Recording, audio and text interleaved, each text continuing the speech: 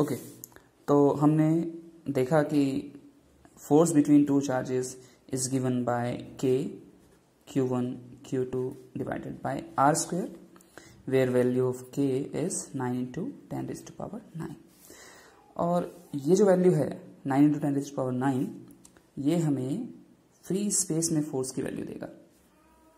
Right right.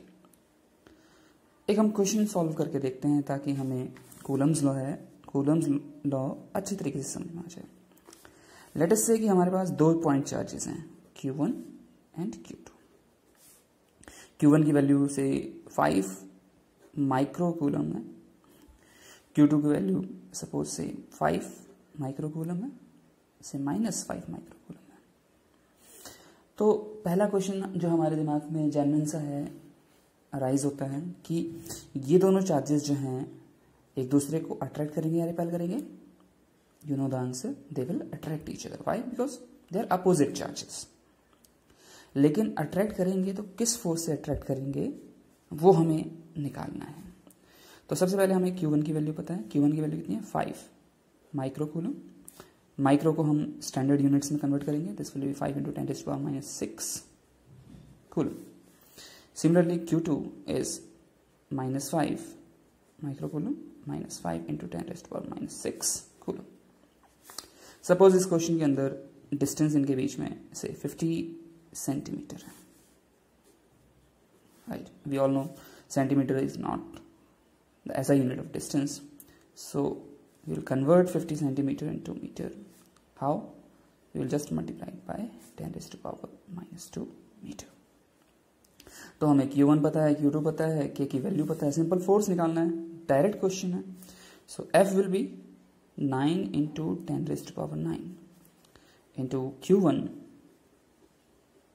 into Q two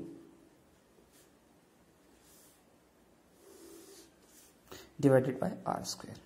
50 into 10 raised to power minus 2 into 50 into 10 raised to power minus 2 right values put कर दी हमने। सब कुछ ऐसा ही में है। अब हम सिंपली सॉल्व करेंगे इसको।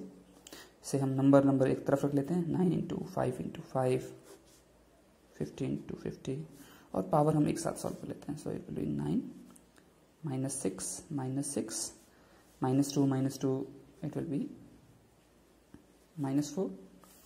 इसको हम फर्दर सॉल्व करेंगे।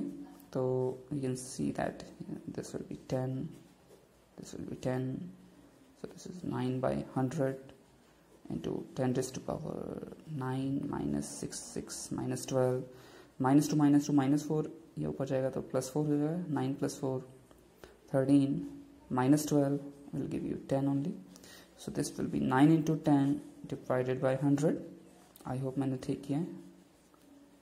You can check so on solving, this will be 9 by 10 or 0.9 newton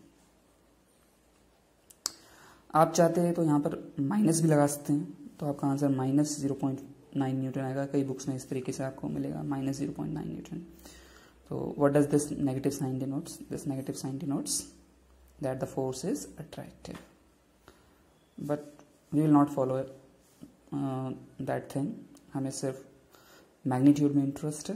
magnitude जो है वो ज़ीरो पॉइंट नाइन न्यूटन आ गया है।